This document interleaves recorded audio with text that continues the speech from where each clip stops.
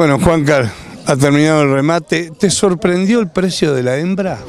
Sí, la verdad que sí, porque este año como que uno venía notando que bueno los toros se venían vendiendo cada cual en, sus precios, digamos, pero todos los remates eh, se vendían todo. Y la vaquillona venía más pesada, inclusive uno lo atribuía un poco al tema del agua, acá está cerca, está muchos clientes que no pueden comprar porque realmente están complicados con las vacas que tienen. Pero hoy no sé, sobre todo el puro controlado, eh, nosotros inclusive somos cabaña digamos, nos consideramos un poquito más Benjamín que los otros, son un poco más de segunda línea y se vendieron muchas vaquillones elegidas en 37, 38 y mucha puja. Y después la Hacienda General, vaquillona de otoño, que también le tendríamos un poco de confianza porque por la aparición de marzo eh, obligaron a varios corrales en 17 mil pesos. hubo más, hubo más aparición otoño de más de 20 mil pesos. Exactamente, sí, la aparición de otoño van con más, hicieron más de 20 mil pesos.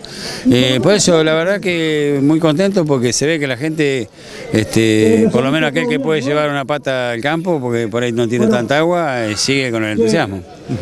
En el toro fueron más selectivos. Sí, sí, de por sí el remate nuestro se caracteriza un poco por eso.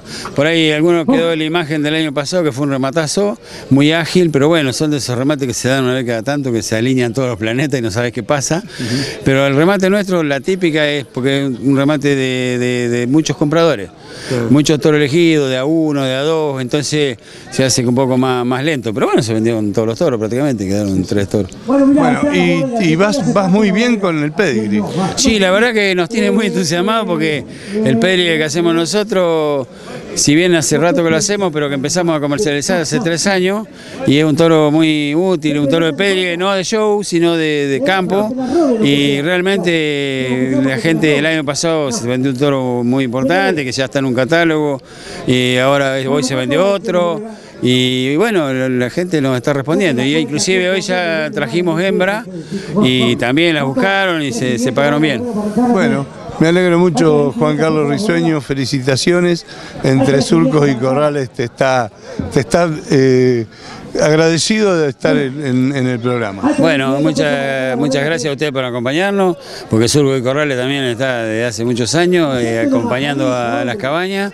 Y bueno, un, saludo para toda la zona de Tandil, que realmente yo tengo mucho cariño porque tengo familiares allá, mis chicos estudiaron ahí, así que bueno, saludo para todos los amigos y clientes.